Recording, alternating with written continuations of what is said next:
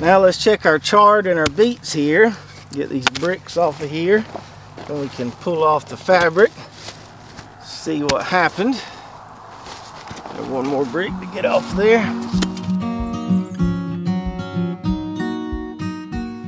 What's up Lazy Dog fam? I hope everybody out there is having a great day. It is Wednesday, December 28th here in South Georgia and the Arctic blast is officially over. We've warmed up to about, you know, low 60s today and going to warm up even more in the next few days. So to give you an idea of what we experienced here, Saturday morning it was about 16 degrees, which is really, really cold for South Georgia. That day it never got warmer than about 32 or 33. It was 20 degrees the next morning. We warmed up to about 40. The next morning, 20 degrees again, warmed up to about 45, maybe a little higher than that. Then we had 25, 26 degrees, warmed up in the 50s. And then this morning it was about 27 and here we are in the 60s. So having those nighttime temperatures in the teens or even the low 20s is pretty unusual here for us in South Georgia. I think the coldest I can remember it being since we've lived here was 17 degrees, but it warmed up a good bit later that day. The problem was that it never really warmed up, especially that one day when it was 16 in the morning and didn't get any warmer than 32 or 33. So we never got out of freezing temps for that entire day. Now I really hadn't spent a whole lot of time in the garden during the Arctic blast just because it was kind of depressing. I did walk around and check on a few of the things that weren't covered, but I haven't checked on any of the things that we covered yet. I figured I'd save that for this video. We could do it together and go around and assess the damage. But before we check on the garden, let me show you what I did just to keep the pipes from freezing so we would have water in the house. Now, keep in mind, down here, we don't get that cold very often. This is a once every 20 years kind of deal. So our plumbing is not really equipped to handle the kind of temperatures that we just experienced. So one thing we had to do was wrap our well here. I don't have a pump house around mine like some people do. So we just have to wrap it. You can see my beautiful wrapping job here. We just took some old blankets that were in the house, taped them around there, and then I took a tarp, one of the tarps I usually use in the garden, wrapped that around there, and that seemed to work pretty well. I also took this water hose, you see right there, running out into those pine trees kind of down there to that pond and left it running wide open for about two days. Now I also was watering the garden a little bit throughout the Arctic blast there, but I wasn't so sure that there was enough flow going through the drip tape into the garden to keep everything from freezing. So that's why I turned that water hose on wide open and that kept everything moving so nothing froze. And for our greenhouse here with our thousand plus baby fig trees inside, we were able to keep this thing from getting too, too cold. You can see I've got the door open today. It was getting by 85, 90 degrees, pretty toasty in there. But during those real cold nights, we just had two electric heaters, had a propane heater running in here, and I was able to keep it about, you know, 45 to 55 degrees, which I'm happy with. I just didn't want it dropping below 40. So we didn't have any pipes freeze. We were able to keep the greenhouse warm enough. Those are the two good things. Now the garden here is going to be a different story. So we'll start off in this in-ground brassica plot, assessing the damage vegetable by vegetable. So starting off over here, we've got two rows of broccoli that look just absolutely decimated. Just froze and kind of broke off there. Good thing we harvested all this before the Arctic blast came because there is nothing left to be had from these two rows of broccoli. Now our cauliflower here doesn't look quite as bad as the broccoli, but it looks pretty dang rough. I'm not sure it's gonna recover. There weren't any heads on this that we could have harvested, so nothing we could really save. We could have covered it, but didn't quite have enough covering to cover these. So we'll just wait and see what happens. See if these recover. See if we get some tiny heads off of them. My guess is that they're toast. Now we had several things survive pretty well, but the one thing that took it like a champ, took it better than any other vegetable we had in our garden, were these Brussels sprouts here. You can see maybe a little bit of leaf curling on those, But man, they look great. They love the cold weather, and hopefully that means we get some nice sprout production pretty soon.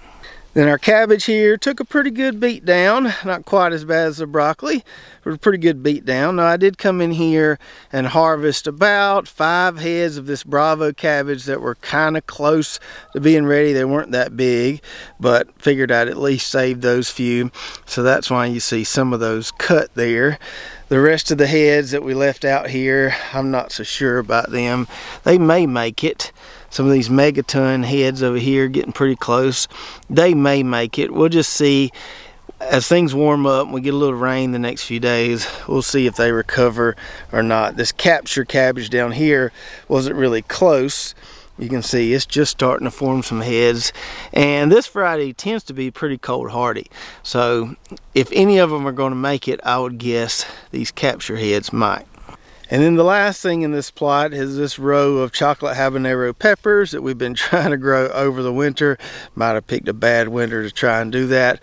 We've got two layers of frost protection on here. We've got some AG19 and then we put some AG30 on top. So let's pull this back and see what happened. Now if any of these made it, I'm gonna be really, really surprised. Let's see here. Oh, yep, look at there absolutely toast. See if it's not just that one. Yeah, yep. They are donezo, donezo, donezo, donezo. Oh well, we tried. So we definitely lost some things in that plot, but not everything. Still got two beautiful rows of Brussels sprouts there. I give some of that cabbage about a 60, 65% chance of recovering. The cauliflower, probably more like a 20% chance on it. Now let's check on our allium plot behind me here. So let's start off with our garlic here that we have mulched with pine straw. Our elephant garlic looks really, really good. Can't even hardly tell that it took any damage. Maybe a few little tiny yellow tips there, maybe a little bit of burn on those, but for the most part, those look great. Now our soft neck garlic here did seem to take more of a hit. A lot more yellowing and browning going on here. Now I would have thought the soft neck garlic would have done better or fared better. I would have thought it was more cold hardy than the elephant garlic. And it could just be the fact that the elephant garlic was up and more established, whereas the soft neck garlic was just popping through the straw. And then we have our onions here, which took a pretty big hit, but I don't think they're dead yet. They look pretty rough now, but I think they're slowly gonna recover. They might not look as good as they once did, but I think they'll come back, at least for these three double rows right here. Now these other two rows that we planted later than those three rows, these plants were smaller and they look pretty rough. I think some of these might be toast, so we might not have a real full row here. I don't think I'm going to replant it. We'll just see what we end up getting. I don't think it killed all of those, but it did kill some of them. And that shows the importance of planting timely, getting these things established, getting them up and going before things can get real cold. So no complete losses in the allium plot. We may lose a few plants, but I don't think we're going to lose a whole row of anything there. Before we go to the raised beds and assess those, let's talk a little bit about the cover crops and our chickens. So our six girls made it through the Arctic blast just fine. I did put a little solar blanket over the top of this exposed end of the chicken tractor, something we take on our camping trips using our pop-up camper. That worked pretty good to keep it a little more warm in there. I did pull out the chicken water every day. So when I move them late in the afternoon, I'd pull the water out of there, put it way back there in the greenhouse so it wouldn't freeze and then put it back in the morning. That seemed to work pretty well. Now as far as the cover crop itself, it did kill some of the components of this overwintering mix, but we've still got some nice lush green growth there, some of that rye and barley, plenty of good stuff for those chickens to graze, just not as much diversity there as we once had. And we can see the effects of those real cold temps even more on this cover crop here that hasn't had a chance to really establish yet. We can see some death down there with some of those components. Some of that tillage radish wasn't ever going to make it through 16 degrees, but we've got enough stuff that survived here. We should eventually get a nice dense patch. Now this big plot of cover crop took quite the beating. So this is a little different mix than what I showed you earlier. This is called the Cool Season Soil Builder Mix. Kind of the same components of that other mix with a few other different things in it. And this area right here, closer to those pine trees, tends to stay more shaded during the day. And where it doesn't get very sunny, man, it never recovered. It almost just looks flattened out there. This stuff was nice, lush, three foot tall and it just took a beat down there. It probably will recover. It looks pretty rough now. We get over here to the more sunny part of the plot. Still took a decent little beating, but it's not laid flat like it is over there in that shaded area. Not a complete loss here by any means, but interesting to note the contrast in damage from the shaded area to the sunny area that was able to warm up a little bit. All right, and finally, let's go through our raised bed plot here where we took more damage than I was expecting on the things we didn't cover. So let's first take a look at the beds that we didn't cover and then we'll unveil those other beds and assess the damage on those. So we'll start out with our spinach here, which I expected to do just fine. We got a little bit of leaf burn there, but not a whole lot. So it's just gonna reduce or slightly reduce the amount of harvestable leaves we have there but these things should keep growing just fine and before too long we'll have some nice spinach to eat. Then we've got these three long beds of root veggies and our parsnips right here whew, they look rough. They look rough. They might recover, they might not recover. I'm not feeling very optimistic about these at this point. We'll just see what happens with those. Our carrots took a lot more punishment than I thought they were going to take you can see they're wilted down pretty good. I'm confident that these will recover. They've just been halted, been stunted a little bit, but they should come back. Still got a decent amount of green in there, even though those tops are laid over. Same thing with this carrot bed right here. Although we do have a few plants in there that didn't wilt at all and look pretty good. So I think we'll still have some carrots. Then we've got some greens that we didn't cover. Our collards took a pretty hard lick, as you can see there, but I think they're gonna be okay. Those leaves that got burnt, probably not gonna be any good, but the new leaves that it puts on, hopefully in the next few weeks, should be nice and delicious. Same thing with our kale over here. Our lacinato kale took a lot more damage than the curly kale. The curly kale looks just fine. Lacinato kale looks pretty rough, looks about like the collards do. I think it will recover. We just lost a few leaves there. But this stuff, heck, we could harvest those leaves and eat those tonight. So if you're wanting to grow kale through the winter and you live somewhere that gets a lot colder than us, I would say definitely go with the curly kale. Seems to be a lot more cold hardy than the lacinato type. Now, a lot of people like the dinosaur kale or the lacinato kale, but if you're worried about it getting damaged from the cold, stick with the curly stuff. All right, now let's start uncovering some of these beds. Now this bed doesn't have frost protection fabric on it. Obviously it has pine straw. So we've got this bed split in half. Got hardneck garlic planted over here. I was gonna put straw on it anyway. Probably just gonna leave that in place. It should pop up through the straw. Over here we had leeks planted and they hadn't been in the ground long. I was pretty worried about them. And I wanna see if there's anything left here to pulling back the straw and it doesn't look like there is. Looks like those baby leeks are absolutely toast. Well, actually, no, there's one right there. There might be a few in there that made it. So, huh, okay. Well, that's good news. So, I'll probably take off a little bit of this straw later today here. Let those leeks get some sun now. We may have lost a few of them, but I don't think we lost all of them. Now let's check our chard and our beets here. Get these bricks off of here so we can pull off the fabric. See what happened. One more brick to get off there. Yep, yep, that AG30 just wasn't enough for 16 degrees. I got a few leaves that are still green there, but most of this stuff looks pretty toast. Maybe some of these beets might make it. Uh, yeah, I got a little bit of viable growth still on those. Not a lot here. We'll just see what happens. We may end up just scratching this. We'll see what recovers in the next few days. And now for this bed where we got celery and parsley planted. See if anything in here made it. And hot dog. Everything in there looks really, really good. I wasn't worried about the parsley a whole lot. I was worried a little bit about the celery, but got a little bit of leaf burn there, but not a whole lot. Success on this bed. Now this bed here was probably the one I had the least amount of confidence in just because most of the stuff in here isn't very cold hardy and we only had AG19 on it and yeah everything there is absolutely toast I might have a little bit of cilantro there that made it but this deal's pretty much toast time to scrap this bed turn it over and plant something else here. Now let's check these taller beds. This one here has rutabagas and red cabbage in it. Get these clips off of here first.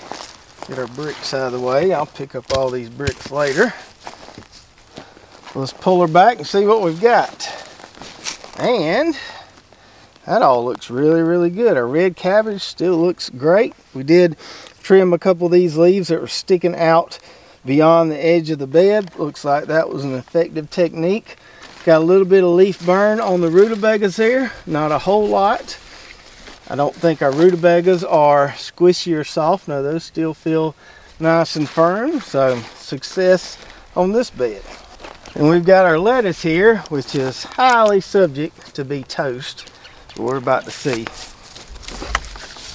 Yeah might be a little bit there we can salvage maybe a head or two of that oak leaf a little bit of that butterhead lettuce. Romaine looks pretty rough. Cherokee looks pretty rough.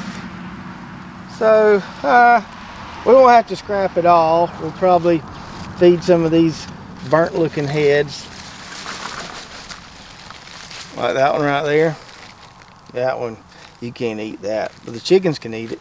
So we'll give those to the chickens and we'll see what some of these that still look okay we'll see how they make it in the next few days. And then lastly here we've got this bed with Savannah mustard and pak choi I was hoping the Savannah mustard would make it so we could at least harvest it one more time. And most of that pak choi there looks pretty rough. Probably going to be chicken food for that. Savannah mustard here looks like it took a little bit of damage but the fact that we had cut it back I don't know it might make it. I think I'm going to leave the Savannah mustard. We'll see what happens on that. Hopefully some of it will recover. Some of these plants might be toast. Some of these stems are still firm though so we'll just see what happens with these. This stuff right here will go to the chickens so we knew well before this Arctic blast came that we were going to take an L. We just didn't know how big of an L we were going to take. And after assessing all that, I would say we took a moderate sized L.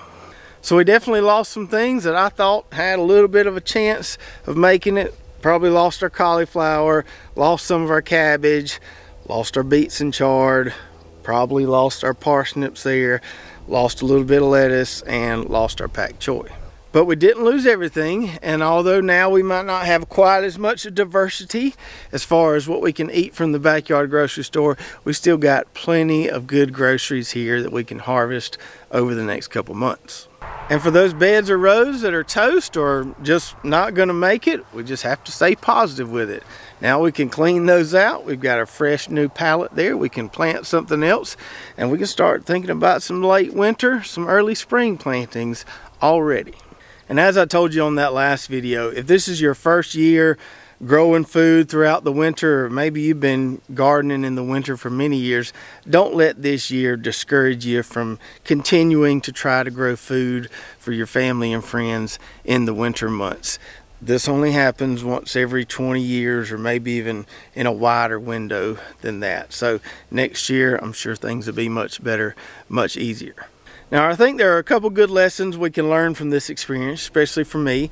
One would be to go ahead and have all your frost protection supplies before winter starts. When fall rolls around, before winter gets here, go ahead and have all the hoops and all the frost protection fabric that you're going to need. This stuff doesn't go bad. It lasts for many, many years. Go ahead and invest. Have it so if you do get a rogue frost event, you can protect your plants from it. You don't want to be at the last minute waiting to get something in the mail, wondering if you're going to get it in the mail or scrambling, running out to stores trying to find something to protect your plants at the last minute. And then the second important lesson would be to have a diversity of things in your winter garden. That way, if some stuff gets killed, you've still got plenty other stuff to eat. So have some really cold hardy stuff like Brussels sprouts and spinach in your winter garden. Some of the other stuff you take more of a chance on, but you know, even if you get a crazy, crazy cold event like we just had, you're still gonna have stuff out there producing, still gonna have groceries to eat. So I hope you enjoyed the video today and as always you can find links in the description below to any of our affiliate partners. Got some coupon codes for some of those companies so you can take advantage of those discounts. Don't forget to go check out our website lazydogfarm.com where we've got our garden blog, recipes, hats, shirts, all kind of good stuff over there. If you did enjoy the video be sure to subscribe, hit that notification button, like and share and we'll see you next time right here at Lazy Dog Farm. Oh farewell. Mm -hmm, by the beauty of your life.